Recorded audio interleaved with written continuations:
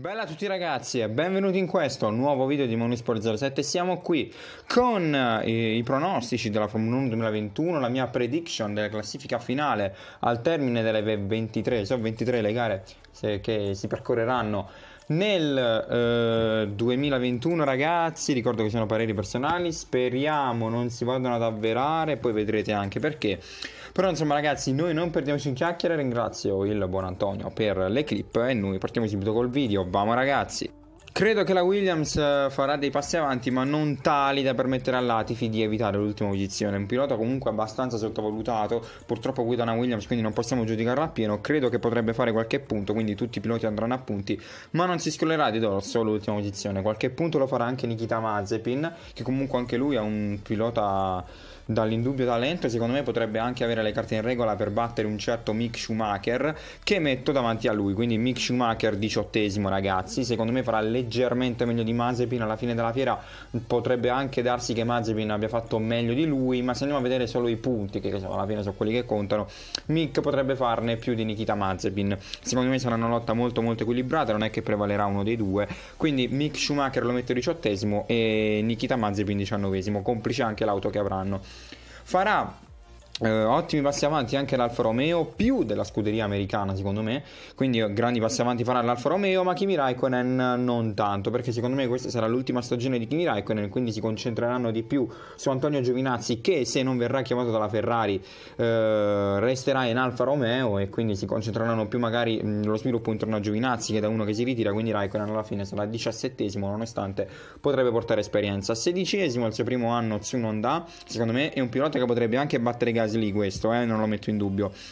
Però insomma qualcosa mi dice che Tsunoda non coglierà troppi punti alla fine, quindi alla fine lo metto sedicesimo. Quindicesimo invece Georg Russell, quest'anno la Williams farà grandi passi avanti, ma soprattutto sarà l'anno definitivo per mettere davanti a tutti il talento di Georg Russell. Quindi Bottas è chiamato obbligatoriamente a fare bene ragazzi, perché quest'anno sarà probabilmente l'anno della consacrazione definitiva di un pilota forte, forte come Georg Russell, quindicesimo con una Williams, secondo me a fine anno. Quattordicesimo Antonio Giovinazzi, dicevo che secondo me Giovinazzi se vuole cercare almeno di impensierire la Ferrari, di entrare nei pensieri della scuderia di Maranello, deve cercare di fare veramente un ottimo anno, per cui quest'anno che secondo me la vettura sarà incentrata più su di lui rispetto allo scorso anno potrebbe cogliere a casa qualche punto in più sempre rispetto allo scorso anno e finire il campionato in 14 posizione, ovvero 3 posizioni in più eh, rispetto all'ultimo. Tredicesimo per Gasly farà un leggero passo indietro, secondo me, l'Alfa Tauri, nonostante l'ultimo anno ha veramente fatto bene, bene, bene, bene. Non credo che Gasly possa estrarre fuori il coniglio dal cilindro come ha fatto quest'anno, dove ha fatto veramente delle gare molto molto buone. Dodicesimo Fernando Alonso, passo indietro secondo me farà anche la Alpine rispetto allo scorso anno che comunque si è piazzata con i propri piloti in quinta e dodicesima posizione. Fernando Alonso secondo me non riuscirà a garantire all'Alpine l'esperienza di cui questa scuderia ha bisogno, non credo si replicherà, non lo so, è una sensazione mia. Davanti a lui ci arriverà eh, la scuderia di Stroll, eh, Lawrence Stroll con il Figlioranze che farà undicesimo posto, così come quest'anno peraltro ragazzi, quest'anno ha avuto veramente un bolide, una Mercedes B e ha fatto undicesimo, non credo che miglioreranno nel 2021 le cose e quindi alla fine, nonostante comunque un pochettino di talento dobbiamo riconoscere che Lanzi ce l'abbia, farà undicesima posizione perché ci sono delle gare dove veramente sembra che guidi una Williams ancora, lui che peraltro in Williams c'è pure stato. Decimo invece Esteban Ocon, a lui manca un po' di costanza e si è visto nell'arco dell'anno, però più che battagliare per la zona punti non lo vedo, quindi farà male in generale la Alpine. Faranno, ora andiamo ai primi 9 che saranno sicuramente quelli che combatteranno il quarto posto. Eh, innanzitutto partiamo da Norris, nono, secondo me pilota di indubbio talento, ma ogni anno si trova un compagno di squadra più forte di lui, quindi secondo me alla fine della fiera, cioè scusate se ripeto sempre questa cosa, alla fine della fiera faranno una posizione davanti a lui, arriverà il suo amico ed ex compagno di squadra Carlos Sainz che al primo anno in Ferrari dovrà eh, essere protagonista in un periodo sicuramente di adattamento perché comunque è una scuderia difficile, una macchina difficile da guidare la Ferrari specie per la configurazione che avrà. Avrà qualche difficoltà all'inizio però secondo me alla fine potrebbe anche fare meglio di Leclerc eh, specie nel finale di stagione. Però tutto sommato lo vedo ottavo leggermente indietro rispetto all'ex, all'ex pilota Ferrari Sebastian Vettel che si rilancerà secondo me con l'Aston Martin. Non farà benissimo però secondo me qualche ottima posizione la potrebbe strappare, perché no anche qualche podio, perché alla fine quando uno tra Hamilton, Bottas e Verstappen ha problemi, tutti gli altri sono in agguato per ottenere il podio. Quindi settimo Sebastian Vettel gli auguro di ottenere questa posizione, magari non troppo spesso davanti alle Ferrari. Sesto Charles Leclerc. Ragazzi, Charles Leclerc ha terminato ottavo lo scorso anno, se già con un catorcio è riuscito ad ottenere due podi e per tre volte il quarto posto e quindi molte volte si è piazzato quasi a ridosso di, del, di, Mercedes e della Red Bull di Verstappen quindi il primo degli ultimi diciamo così. Quest'anno con la macchina se, in teoria dovrebbe essere la macchina migliorata potrebbe fare ancora meglio quindi sesto posto. Davanti a lui due che non si possono battere ovvero Sergio Perez che con la Red Bull secondo me farà leggermente meglio non molto meglio ma leggermente meglio rispetto a quanto bene avevano fatto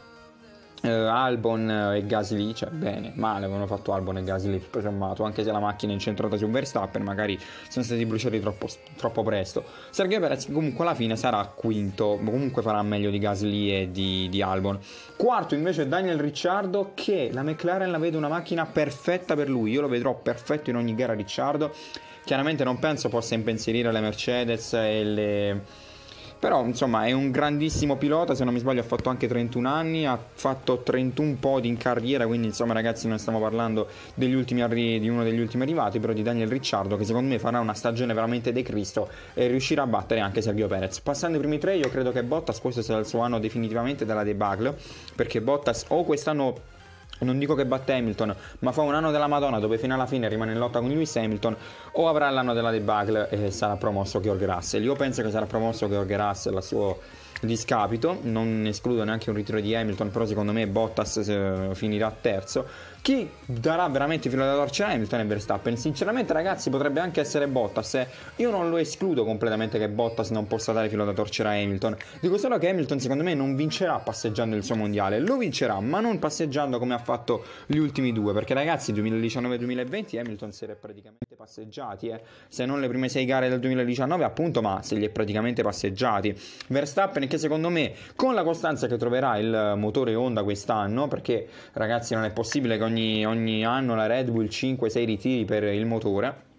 con quella costanza Verstappen, con quei punti in più che poteva ottenere, riuscirà non solo a battere Bottas, ma anche ad impensierire Lewis Hamilton, almeno secondo me, che magari se ottenesse qualche effettina di culo in meno, potrebbe essere impensierito di più da, dall'olandese. Passando alle scuderie, io penso che decima non arriverà la Williams, ma arriverà la Haas, ragazzi, avete visto che ho messo quindicesimo Russell, Russell che sarà mattatore della scuderia inglese, che sicura, sicuramente non tornerà ai livelli di un tempo, però la nona posizione riuscirà ad averla, tra l'altro sembra la classifica delle livree, perché Williams e Haas quest'anno hanno fatto veramente schifo, hanno praticamente entrambe messo la livrea dei dentifrici, però secondo me alla, alla fin fine la Williams riuscirà ad arrivare davanti alla Haas, anche se di poco, però secondo me riuscirà ad arrivare davanti alla Haas. Chi in teoria dovrebbe confermare il proprio, proprio piazzamento, ovvero l'ottavo posto, è l'Alfa Romeo. Io penso che la scuderia italiana farà passi mo- molto in avanti rispetto lo scorso anno, eh, però penso che alla fine l'Alfa Tauri non riuscirà a batterla tramite magari l'ausilio dei suoi piloti, però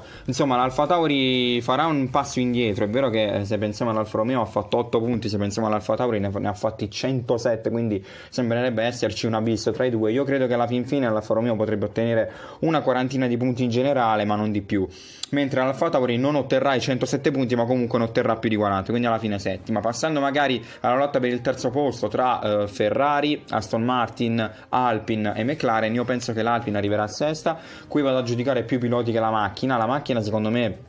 farà passi avanti, ma gli altri faranno leggeri più passi avanti rispetto a loro, cioè insomma leggermente più grandi rispetto alla scuderia francese che la Renault è ora è diventata la Alpine. Non hanno più un pilota come Ricciardo, lo sostituiscono con Fernando Alonso, ma secondo me questa si sarà rivelata la scelta sbagliata. Se dovevi sostituire uno come Ricciardo si poteva sostituire solamente con il ritorno di Hulkenberg, con tutto rispetto per Alonso che ha fatto la storia, però ormai in questa Formula 1 ha già detto la sua, a mio modo di vedere. Quinta posizione come il numero di Sebastian Vettel per la Aston Martin che eh, farà leggermente fatica, forse per un periodo di adattamento di Sebastian Vettel, con l'inesperienza che ha Lance Stroll, che non so quanto durerà nonostante il suo quinto anno in Formula 1, secondo me alla fine non andranno oltre il quinto posto, nonostante avranno a disposizione un'ottima auto, una Mercedes B praticamente. Quarta la Ferrari, passi in avanti per la Ferrari, che però non riuscirà a confermare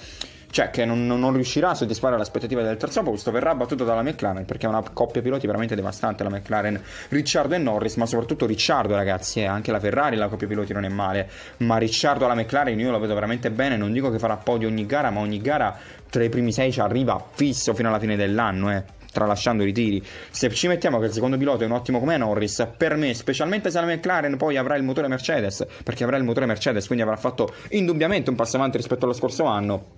secondo me terminerà davanti alla Ferrari, non dico ogni gara, però secondo me sarà molto molto difficile per la Ferrari battere la McLaren. Aston Martin e Alpine si possono battere, la McLaren sarà molto molto dura. La Red Bull, io credo che Perez farà la metà dei punti di Verstappen, e già è tanto ragazzi, eh, perché Albon e Gasly non hanno fatto neanche la metà dei punti di Verstappen, io credo che Perez faccia la metà. Fino alla fine dell'anno Verstappen avrà fatto credo 300 punti